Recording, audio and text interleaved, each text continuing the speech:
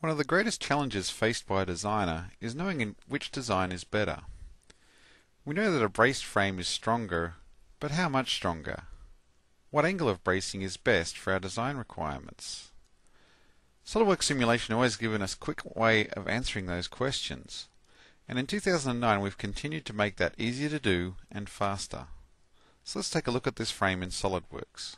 The interface and workflow has been tailored to the everyday designer who necessarily perform validation on a regular basis and looks for assistance in how best to test their design. You'll find a new streamlined interface that is simpler to work with and far more intuitive. All the specialized simulation power and capabilities are still just a mouse click away from more advanced engineering challenges. SOLIDWORKS Simulation walks you through the steps on how to test your design. An integral part of this is a simulation advisor. By answering some basic questions, it gives guidance on what to do for simulating your design and how it functions in the real world. In this instance, we're concerned with the deflection of our frame and are asked to identify what's important and if we have predefined criteria for an acceptable deflection. The Simulation Advisor automatically creates a sensor to monitor this. We just specify an acceptable range, and once it's set, we automatically are notified any time the design does not meet this goal. There are several ways we can represent our design, and by default SOLIDWORKS Simulation provides the most efficient way. Our structure is made of weldments, which are long and slender. It will represent these as beams, automatically using the section properties of the geometry in the simulation. You're free to adjust the representation back to solids, but beams allow us to get insight into which design is better in a matter of seconds. This is a valuable tool in the fast-paced design world where you need to quickly weed out designs that are not suitable. In the same way the Simulation Advisor helps set up the study, it guides the designer through how to set up the design for testing by adding fixtures, connectors and loads.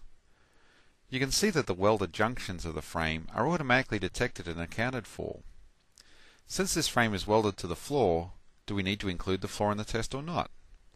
Since the floor is far stiffer than the frame, the advisor informs us that we can represent this as a fixture. We also have to do all we have to do then is identify the points where the frame is restrained. Similarly, with the loading, the advisor guides us through the decision on if we need to include the bench top applying the load to the frame. In this instance, the bench top is far more flexible, and we're advised to just represent it as an applied force. The advisor automatically generated the load condition. All we have to do is specify the amount and the direction. Here we are selecting the weldments the load is applied to and the amount of load on each weldment. As we mentioned, it only takes a couple of seconds to get the answer and gain insight into the suitability of our design.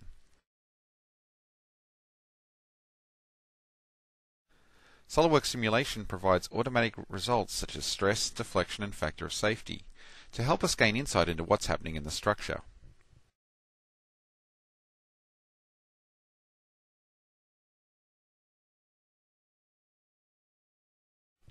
You'll notice also that the sensor is updated to show the maximum deflection of the frame, which is still below our limit. We can compare this result to that of the other brace configurations, and it becomes obvious which frame is better. SOLIDWORKS Simulation 2009 gives the ability to everyday designers to test their designs quickly and accurately, and in doing so, lets them design better products faster.